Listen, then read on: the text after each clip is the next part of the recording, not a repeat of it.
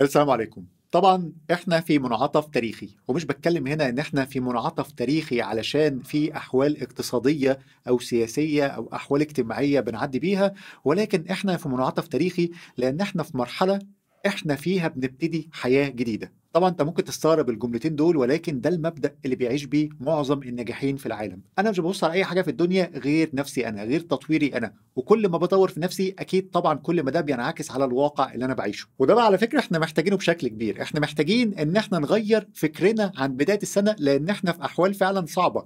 العالم كله بيعاني من حاجات كتيرة قوي وإحنا جزء من العالم ما ينفعش إن إحنا نتغافل عن هذا الموضوع. ولو فضلت أنت زي شخصيتك اللي السنة اللي فاتت كانت موجودة أكيد طبعا أنت اللي هتكون بتخسر. فأول السنة ده بيكون وقت بنعمل فيه عملية ستوب ونوقف كل حاجة ونرجع نبص الفترة اللي فاتت كنا ماشيين فيها إزاي وإزاي نطور اللي جاي. لو ما عملتش كده في وسط الظروف الصعبة اللي أنت موجود فيها دلوقتي واللي العالم كله بيعاني منها تأكد إن أنت مالكش مكان. طيب هل ده معناه إن إحنا نتشائم؟ لا إحنا مش متشائمين خالص بالعكس دي دفعة إن أنا أكون بطور من نفسي ودفعة إني أكون بتغير.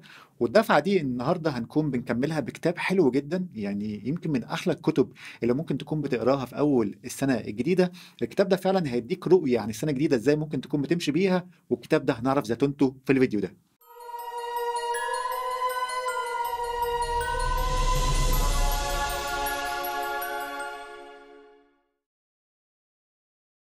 السلام عليكم. أنا مايكل راشد وأنت بتشوف برنامج الزتونة في بداية الحلقة دي أحب أفكرك إنك تكون عامل اشتراك هنا في البرنامج وتكون مفعل خاصية الجرس عشان تتابع أول بأول كل الفيديوهات اللي بتنزل واللي ممكن تغير في حياتك ولو على الأقل كده بنسبة 1% الكتاب اللي معانا النهاردة اسمه Your Best Year Ever أو أحلى سنة ليك على الإطلاق لكاتب اسمه مايكل هايت وأنا من خبرتي في مجال الكتب أحب أقول لك إن أي كاتب اسمه مايكل أنا حبيت الكتب بتاعته. بحس إن في حاجة مني كده. زتونة كتابنا النهاردة ممكن نلخصها في خمس أفكار رئيسية. ولكن قبل ما نبتدي في هذه الأفكار كان مايكل كاتب intro في بداية الكتاب يعني بيتكلم وبيقول في فرق كبير جدا ما بين النية والتطوير. مايكل شبه القصة دي بفكرة ال fireworks أو اللي هي الألعاب النارية. يعني أنت ممكن تكون بتشوف ألعاب نارية واحتفالات في رأس السنة بشكل كبير قوي وكل الألعاب النارية اللي أنت بتشوفها دي بتبقى مذهلة جدا وأنت بتكون سعيد جدا وأنت بتتفرج عليها. ولكن في الآخر انت ما بتستفدش حاجة. انت آه تحمست للسنة الجديدة ممكن تكون تحمست بأهداف وتحمست برؤى ولكن انت محتاج بقى ما تبصش على فكرة ال fireworks أو الألعاب النارية دي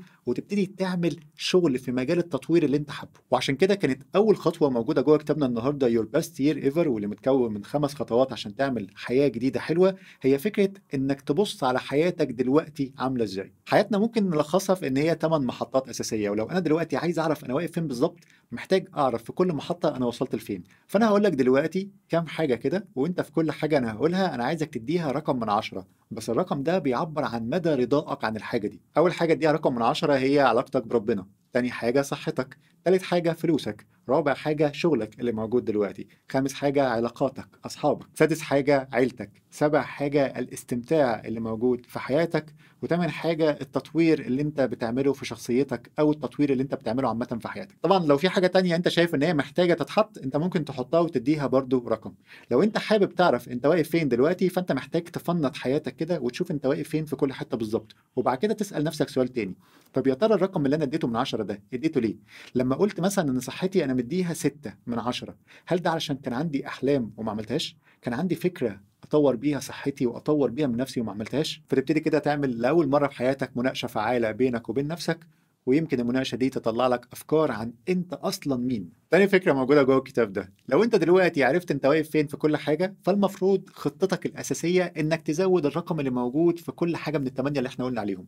ولكن علشان ده يحصل ساعات كتير قوي عقلنا بيخدعنا وعقلنا بيقعد يطلع لنا blocks حواجز تخلينا ما نعملش أي حاجة. ال mental blocks دي أو الحواجز الذهنية ممكن تكون حاجات زي معتقدات موجودة عن نفسي ممكن تكون حاجات زي فشل كان موجود قبل كده وأنا عديت بيه ويقعد الفشل ده يملاني بأفكار سلبية كتيرة قوي عن إن أنت ما تقدرش وإن أنت مش هتعرف تعمل أي حاجة وإن كل سنة زي السنة اللي قبلها وإن ياما ناس كتير حاولت وما عرفتش. أنا بحب قوي شخصية مثلا زي والت ديزني لما قال لك أنت مش هتعرف تعمل حاجة طول ما أنت ما عرفتش إنك تتخيلها.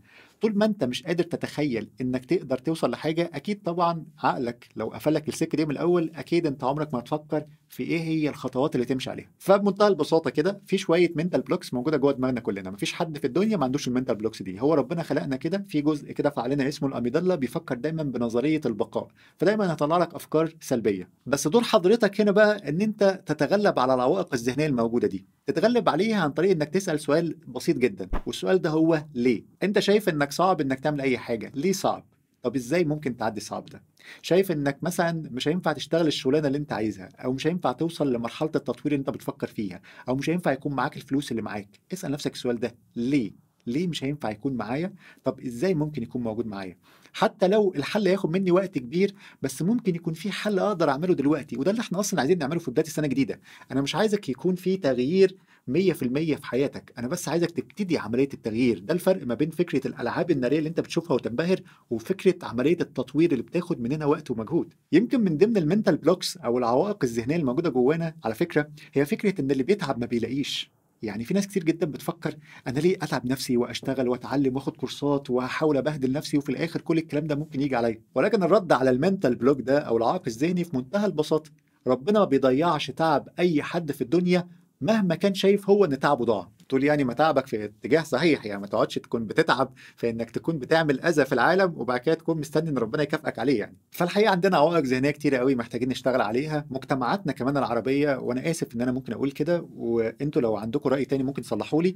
مجتمعاتنا العربية عندها برضو mental blocks أو عوائق ذهنية كتير قوي زي مثلا فكرة إن إحنا ما بنتحكمش في أي حاجة وإن إحنا مجرد puppets يعني مجرد كده عرايس وإن الناس اللي حوالينا بيتحكموا فينا. كل دي عوائق ذهنية. أنت لو عايز تعمل حاجة شفنا نماذج ناجحة كتير قوي طالعين من العرب وطالعين من يعني بلاد كانت صعبة جدا حالتهم صعبة جدا وشفنا ناس هنود قدروا إن هم يكونوا بيتحكموا في إنجلترا في الوقت ده. فمن الآخر يعني الفكرة اللي في دماغك بتقول لك إن أنت مش هتعرف تعمل حاجة وإن تعبك هيروح على الفاضي أنا بس بقول لك كده قوم وانشف واشتغل وما تقلقش على النتيجة. ثالث مرحلة وثالث نصيحة موجودة جوه الكتاب ده هو إنك لما تيجي دلوقتي بقى تبتدي طريقة تطوير هيصدمك كده برضه في تفكيرك شوية حاجات ليها علاقة بفشلك اللي قبل كده. اللي هو يا خبر أبيض تقعد بقى تعيش أجواء درامية غير مسبوقة عشان تجبر نفسك إنك ما تعملش أي حاجة في التطوير اللي أنت عايزه ده أصلا. يعني تبتدي تقول لنفسك إيه؟ ده أنا أصلا فشلت في حاجات كتير والفشل بتاعك ده يقعد يطاردك وتقعد بقى تجيلك أفكار مثلا زي إيه؟ زي أنا ما كانش المفروض أرد بالأسلوب ده. أو ما كانش المفروض إني أعمل الحاجة الفلانية دي. أنا ما كنتش المفروض من الأول أعمل كذا كذا. وتقعد بقى أفكار كتير قوي تطردك عن الفشل اللي أنت عملته قبل كده في حياتك أو الحاجات اللي ما نجحتش بشكل كويس. وسواء بقى كنت أنت هتلوم نفسك أو سواء كنت هتلوم الناس التانية اللي موجودة في حياتك في كل الأحوال أنت كده كده خسران. طبعا أنت خسران. ما أنت طول ما أنت شايف الحتة اللي أنت أثرت فيها أو غيرك أثر فيها أنت مش شايف بقى إيه الحاجة اللي أنت ممكن تتعلمها أو إزاي تصلح الغلط ده في المستقبل. عشان كده اهرب من البعبع ده بعبع الخسارة اللي هو أنا ياما عملت حاجات وباظت. لا أنت ياما عملت حاجات اتعلمت منها حاجات تانية. مفيش حاجة اسمها خسارة ينفع نسميها خسارة إلا إذا أنت قررت إن أنت تسميها خسارة. العالم مليان قصص كتير الصراحة زي جي كي راولينج وزي والت ديزني وزي توني روبنز وزي ناس كتير قوي زي ستيف هارفي زي ناس كتير قوي. ابتدوا إن هم يتخبطوا كتير قوي في حياتهم وبعدين عشان هم ابتدوا إن هم يتعلموا من كل حاجة هم كانوا موجودين فيها قبل كده ابتدوا يغيروا الوضع. فما فيش حاجة اسمها خسارة بمعنى الخسارة ولكن في حاجة اسمها أنا عندي تجربة اتعلمت منها حاجة. فغير الكونسبت ده ادخل السنة الجديدة بفكرة أنا عندي تجارب كتيرة تخليني السنة الجديدة اللي أنا موجود فيها دي أبتدي أعمل حاجات مختلفة لحياتي. رابع فكرة بقى موجودة هو إنك تحول بقى كل الأحلام اللي أنت حلمتها للسنه الجديده وكل أفكار التطوير لأهداف واقعية وملموسة ومحددة بحيث إن أنت تقدر تنفذها. هنتخلى شوية كده عن أفكار زي أنا عايز أنجح أو عايز أطور من نفسي وخلاص أو هنتخلى عن أفكار زي أنا عايز آخد كورس. كل الكلام ده ما بينفعش. اللي بينفع إن أنت تقول مثلا أنا عايز آخد كورس فلاني لأن ده هيفيدني في حاجة معينة وآخد الكورس ده في المكان المعين في وقت معين آه، بأسلوب معين. إحنا اتكلمنا قبل كده كتير قوي عن موضوع ال SMART goals أو الأهداف الذكية وإزاي بتحطها. لو أنت برضو حابب إن إحنا نعمل حلقة مفصلة عن وضع الأهداف يا ريت تكتبوا لنا في التعليقات وهعمل لكم حلقة مفصلة جدا إزاي تعمل هدف من أول الفكرة بتاعته لغاية التنفيذ والمتابعة عليه. خامس حاجة وآخر حاجة موجودة جوه الكتاب ده حاجة هتلف عقلك شوية ولكن قبل ما أقول لك عليها حابب أقول لك إن إحنا عندنا كورس كان اسمه تخطيط العام الجديد في ورقة واحدة. الكورس ده هو فيه أفكار كتير جدا من الكتاب اللي موجود معانا النهارده ومن كتب كتيرة قوي وفكرته الأساسية إن هو عامل لك زي ورقة كده الورقة دي أنت ممكن تحط فيها كل أفكارك للعام الجديد. والكورس ده وكورسات تانية كتير دلوقتي عليها عرض خاص بمناسبة رأس السنة فحاول تشوف إيه الحاجة اللي أنت حابب تتعلمها للسنة الجديدة وابتدي فيها من دلوقتي. وكمان على فكرة غير الجزء الخاص بالكورسات اللي بنقدمها للأفراد ففي كورسات خاصة بنقدمها للشركات. إحنا ابتدينا ال project ده أو المشروع ده في الإمارات.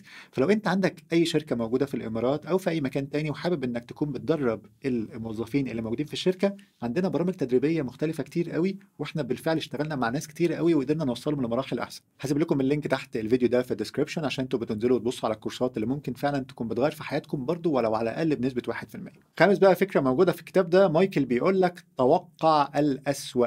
مش الأسوأ في تحقيق أهدافك ولكن الأسوأ فيك أنت. إحنا يا جماعة بشر ضعيفة جدا. إحنا بشر عارفين كده اللي هو عايشين على بركة ربنا بنحاول إن إحنا نكون بنطور من نفسنا ولكن إحنا ضعاف فأكيد طبعا هتنسى أهدافك وأكيد طبعا هيجي لك وقت وتحبط وأكيد في وقت من الأوقات كده وأنت ماشي بتقلب في الفيسبوك ولا الإنستجرام هتشوف خبر هيحبطك بشكل كبير كلنا كده محدش يعني معصوم من الأفكار دي لكن الفرق بين واحد والتاني هو إنه بيفكر نفسه دايما بهو عايش ليه طب أنا بتطور ليه أنا بعمل كل الكلام ده ليه هل أنا بعمل كده علشان أكون مبسوط وخلاص؟ لو ده هيبسطك أوكي.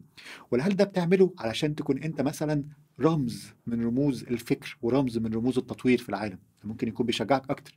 ولا بتعمل كده مثلا عشان تساعد الناس التانية اللي موجودة في حياتك عشان تساعد عيلتك مثلا. الآخر كده لو ما فهمتنيش كل ما يكون عندك أهداف سامية في إنك تكون بتطور نفسك علشانها تكون موجودة في حياتك كل ما ده هيخليك أنت أصلا عايز كده تستقتل عشان توصل للهدف اللي أنت حاطه. فارجع دايما كده وفكر نفسك كل شوية هو أنت ليه ابتديت الطريق ده؟